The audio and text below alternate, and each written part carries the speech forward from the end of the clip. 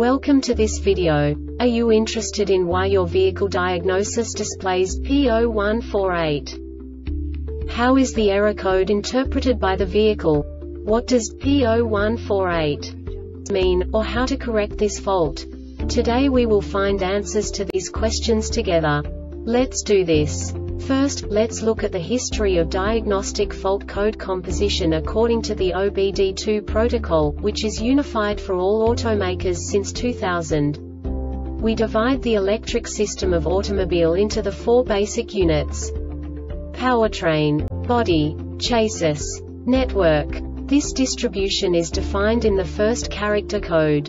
If the second character is expressed as zero, it is a standardized error. In the case of numbers 1, 2, 3 it is a more prestigious expression of the car-specific error. The third character specifies a subset of errors. The distribution shown is valid only for the standardized DTC code. Only the last two characters define the specific fault of the group. Let's not forget that such a division is valid only if the other character code is expressed by the number 0. Our website airbagreset.sk produces useful videos for you. You do not have to go through the OBD2 protocol anymore to know how to troubleshoot any car breakdown. You will find all the diagnostic codes that can be diagnosed in a Chevrolet vehicles. Also many other useful things. The following demonstration will help you look into the world of software for car control units. You unbelievably can move the video a bit further. The error code is split into two bytes consisting of 16 bits. One bit is the basic unit that each computer works with. The bit has two logical states. 0, low level, 1, high level. By combining the first two bits, the basic character of the error code is expressed.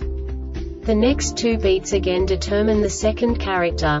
The last bit styles of the first byte define the third character of the code. The second byte is composed of a combination of 8 bits.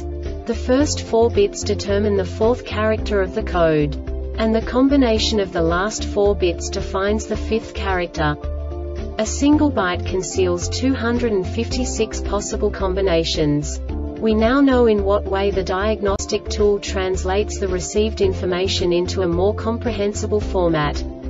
The number itself does not make sense to us if we cannot assign information about it to what it actually expresses.